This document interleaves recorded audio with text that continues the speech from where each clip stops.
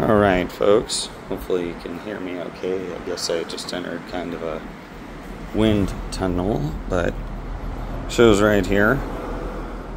Uh, no red tape involving bringing complaint. A simple call. Uh, you can also visit the office at its location. Right.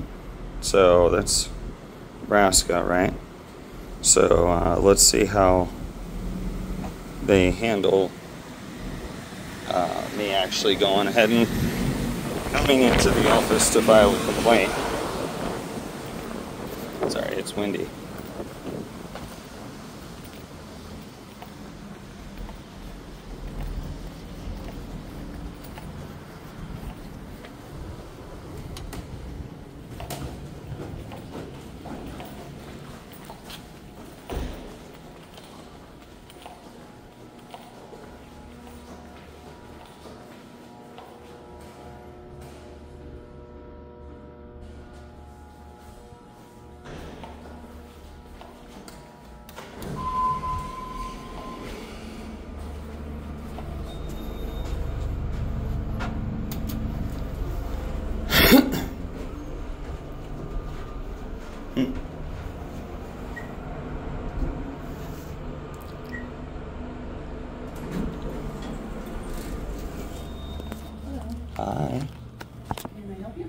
Um, I just wanted to file a complaint.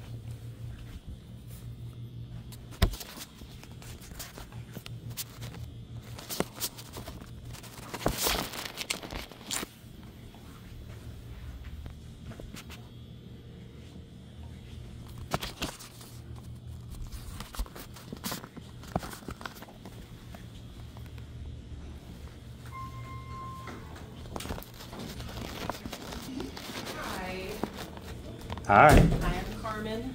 Hi, Rebecca. Hi. Um, Chris had let us know you had a complaint that you wanted to file with our Yeah. office. Yeah. Um, yeah, if you don't mind filling that out, I can take notes too. Do you know, um, or I guess we both can, uh, but what, um, who are you, or I guess what agency are you filing a complaint? Uh, the Attorney. General. Okay. Um, what is, let's start with, what is your name? Justin. You guys normally do the intake out here? Yeah, if you do, yeah, Weird. if that is. Yeah, whatever. For you, yeah. And your last name, Justin? Riddle, R I D D L E. What's your address? Uh, it's 16422 Patrick Avenue, And city? uh, Omaha, Nebraska 68116. You said six eight one one six? Mhm. Have you contacted us before? Um, not about this, but five years ago, yeah. About the bank situation, which I ultimately won in the Supreme Court without an attorney. What is your, uh, what's a good phone number for you? 402 813 2156. Okay. Your complaint was regarding. Okay, can you tell us a little bit about the complaint? I can. So, in 2021, my mother and I were unfairly uh, singled out at a school board meeting, and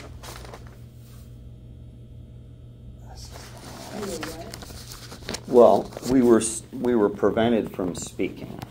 Okay, At a school board meeting? hmm? What school board? Omaha Public Schools. Okay. And they prevented us because they did not want the content of the information that we were sharing. But they did it under the guise of the address, and then they did it under the guise of, well, you can't play a recording. You can only speak at the meeting. You can't play a recording, okay? Well, multiple members of the community, not myself and not my mom, although I did look back and I did have a draft that I started to compose back then to the AG, but I have ADHD and I get easily distracted, so I literally must have forgot to finish because I did not send it. But multiple members of the community, according to this letter from the Attorney General, multiple members of the community alleged violations of the Open Meeting uh, Meetings Act against my mother and I. Our names are right there, okay? Well, the Attorney General spoke to the school district. Who, who is this addressed to? Well, it's addressed to the public. I mean, it's, it wasn't to me, they hid it from me. Was it on? But I mean, where did you get this? I found it on accident about a month ago online. Does it look fabricated? No, I, it, I just don't Yeah. understand what it is. Is it Because like Peterson's not the attorney This- general. anymore. Well, they did an investigation. This They is came to a, a um, conclusion. Letterhead, of course, and a date. Yeah.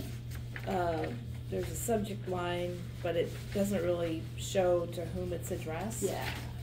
So, yeah, just wondering. Yeah. So it, it's not really addressed to anyone. It's a decision. It's an opinion. It's what they decided. An opinion. The attorney general. So, So it says a copy to David Crane. well, yeah, their attorney. Of course, they got a copy. Mm-hmm. Yeah. Well.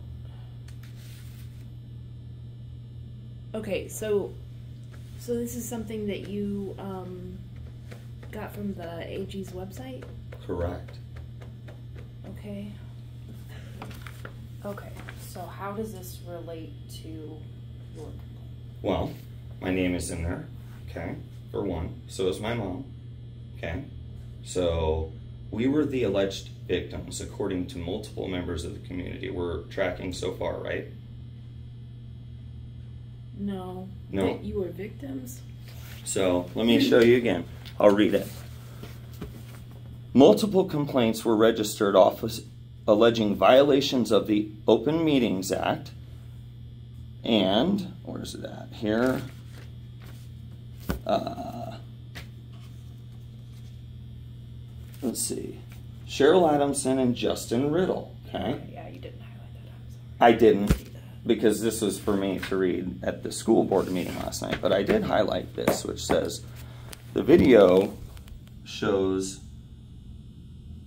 that she needed to give her own public comment and not play the audio recording, which so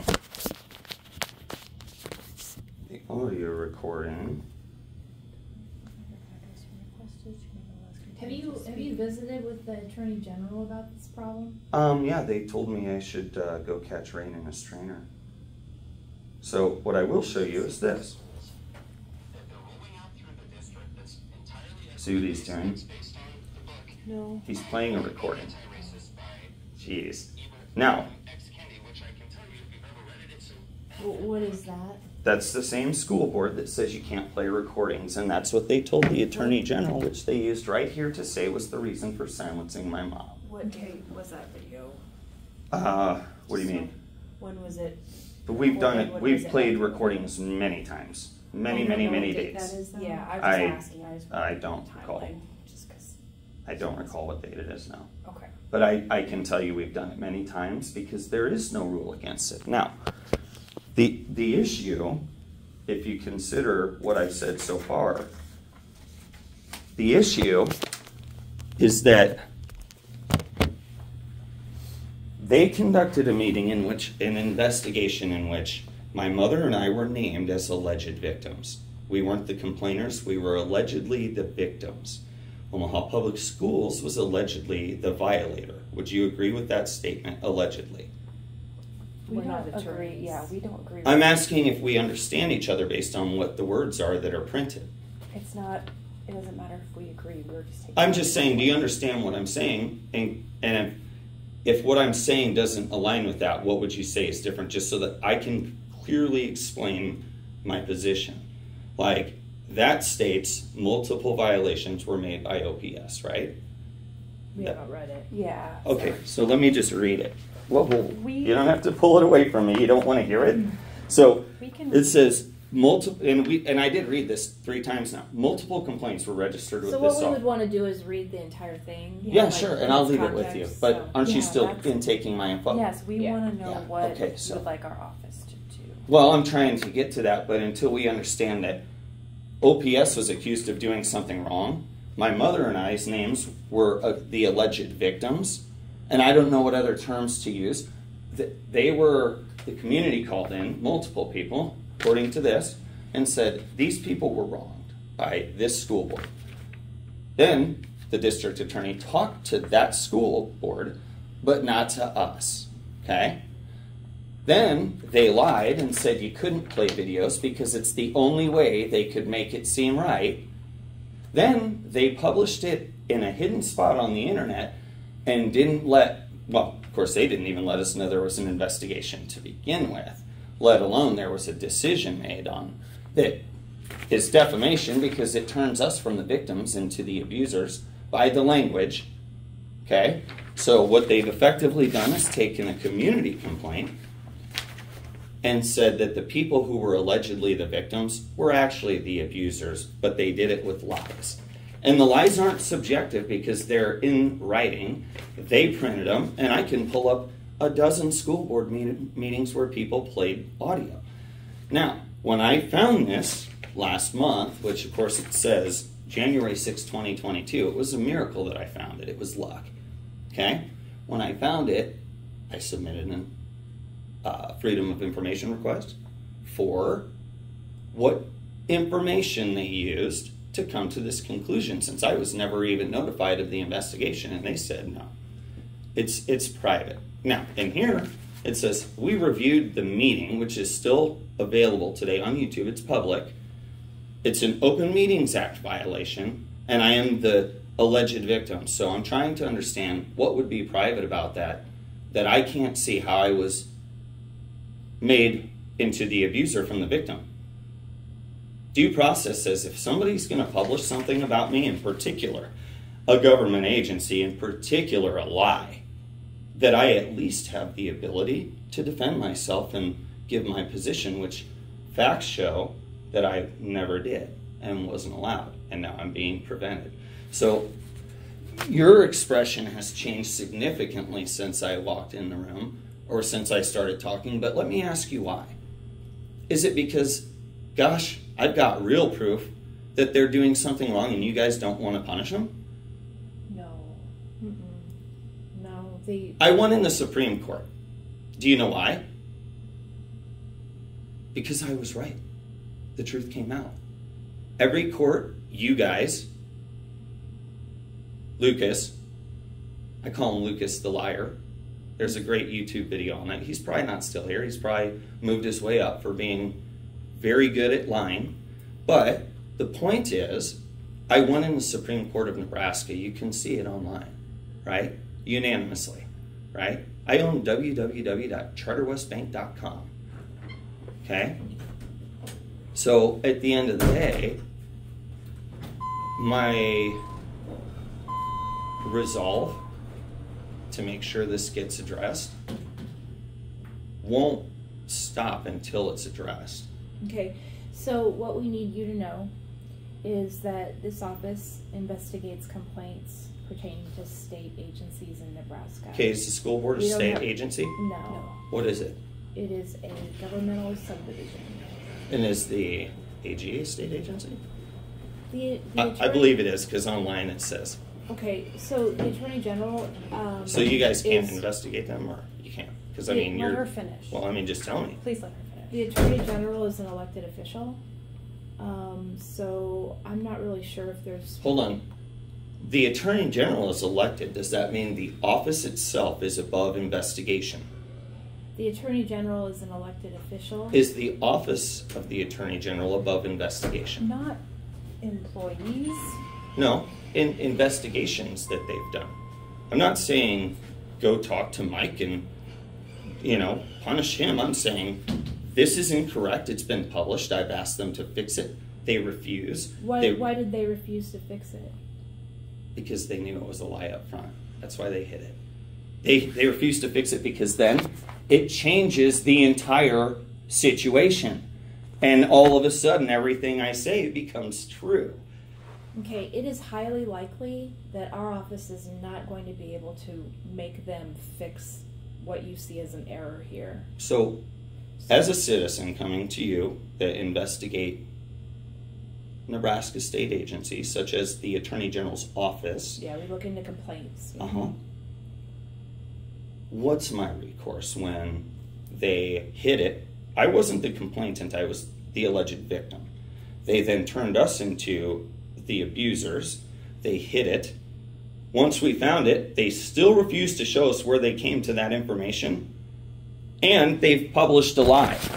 More than one, actually, but that one is so painfully obvious that there's just no disputing it. So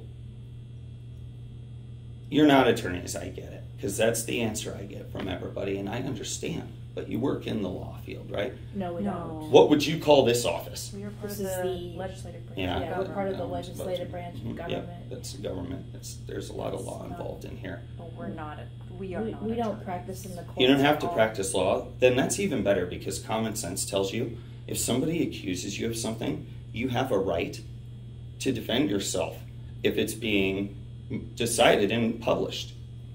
Agree or disagree, that's basic knowledge. Nobody can just, the government cannot just convict you of something without you getting an opportunity, if you so choose, to speak your side. What were you convicted of? Well, I was convicted of being the problem, which, if you ran a small business, you might understand that when your customers look you up and say, oh, oh my gosh, this guy is out of control at a school board meeting. No, that's not what happened. They lied.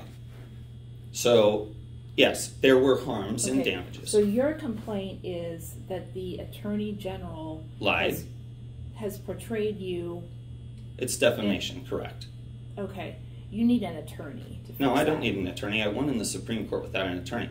I'm well, asking you what you guys to do. Court and and allege So in you're- court that it's Well, just my opinion that the attorney general has defamed you. Well, I already We have that help- lawsuit prepped. We cannot help you do. I'm not that. asking you to help about the defamation. I want the facts corrected from the investigation from the Nebraska State Office. Would that not mean that your defamation would be resolved? That you wouldn't be? I don't know, would it? Well, If it did, wouldn't that be great? Then then you'd be doing your job and a really good job of it. yeah. Sounds like the right thing to me. what we I agree. If you guys got the truth published, it would fix my defamation suit. You are so right. I'm so. Sir, this is really inappropriate. What are you talking about? I totally agree. I agree. I think it's a great I- idea. It's a fan like my It's excitement should be that showing through. Can fix for you. But you can investigate, and then when they have to fix it because it is in fact false, and you investigate public agencies, Nebraska, right? You investigate the agency. Here's their investigation, not the elected official, but the agency. Here's the lies they published. Shouldn't you be able to say, well, you guys publish lies. We're We're How- responsible. How are, how are we supposed to determine whether that is a lie or not? I just showed you a video of me playing. No, we don't. We don't do that. You will need to get an attorney to, I'm resolve what? this problem. We are not going to look at your video. You don't have to look at my video. You, You can find it it yourself us and you online. Oh, so I did show is- you the video. You yeah. You And you could see it was OPS's school board meeting. So Because we will not be looking into this. That's the end of the conversation. Perfect. I knew that would happen. I told you guys. Glad I kept it live. Everybody, I told you exactly what I said. This is Nebraska. Bye. I told you guys. Yep, all of them.